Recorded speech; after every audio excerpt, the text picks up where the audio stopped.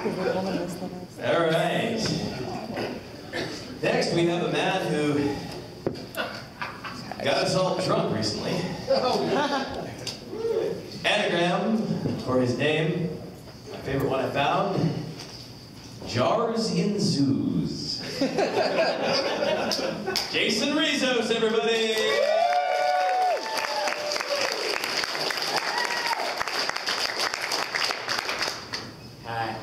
I come to educate y'all on the common fishes in this great state of Oregon.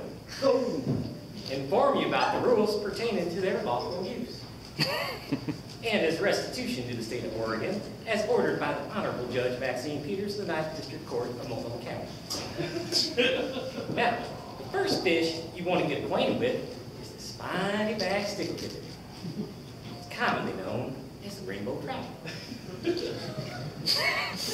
Now, this species is recognizable by its vermiculated belly, so soft it ain't like it got scales at all. The prettiest lips you'll see on any fish this side of California. I mean, is just for looking at is all, nothing salacious. you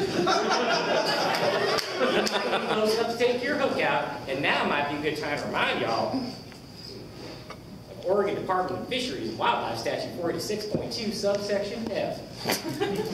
No angler shall remove from streams, lakes, or coastal watersheds fishes for the purpose of erotic stimulation.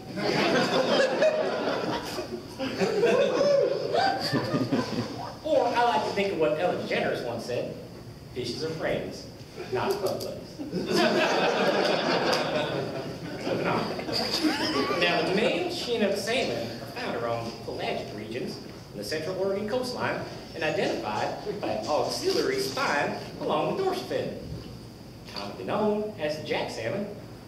Now, despite its name, should an Oregon Fisheries and Wildlife Game Warden should happen to so find mess them in your britches, well, you can try telling them they just swim there. They're liable to make it where you got to register at every Fred Meyer, New Seasons, and Whole Foods fish counter within a six-mile region. Explain to them your particular legal status. Fish is friends, not Now, the Delphinidae tertiopsis is a happy little critter we like to call bottle-nosed dolphin. oh, they think they so cute. Oh, look at me, I'm a cute little dolphin. Let me flip for you. well, I know what you're thinking right now. Dolphin ain't no fish. Well, time to remind you, Oregon Department of Fisheries and Wildlife 46 subsection G. Statutes bar zoophilia and related lewd acts with fishes extend all marine wildlife in the state of Oregon and its outlying coastal regions. so that includes the dolphins.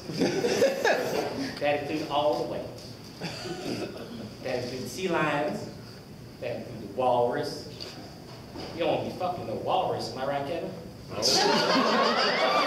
Perfect time. Pause for just one moment and feel. Do we need uh, we need more information from the.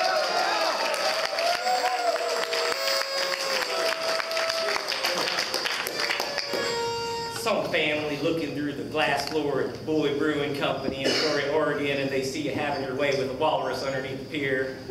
All right? They lie on it so you can't come within a thousand feet of any lake, river, stream, or aquatic water. now, Klamath smallmouth mountain sucker. This, this fish inhabits the desert regions in the cold water streams of central Oregon. Now, this is a fish you may find within the Umatilla Native American tribal lands. And as you may already know, federal law don't extend it to no Native American tribal lands. I don't care what my parole officer has to say about it. now, I got this friend named Charlie. He runs a flying tackle shop just south there of Klamath River Basin. He runs up there by the Coyote Valley Roadhouse Casino. You go in there, you mention to him the Klamath smallmouth mountain sucker, and he'll know what you're there for. so Charlie, he part Navajo or some shit. I'll take you on your own personal private guided tour. So then a presentation on Oregon fishes in compliance 9th District Court of Multnomah County. Thank you very much.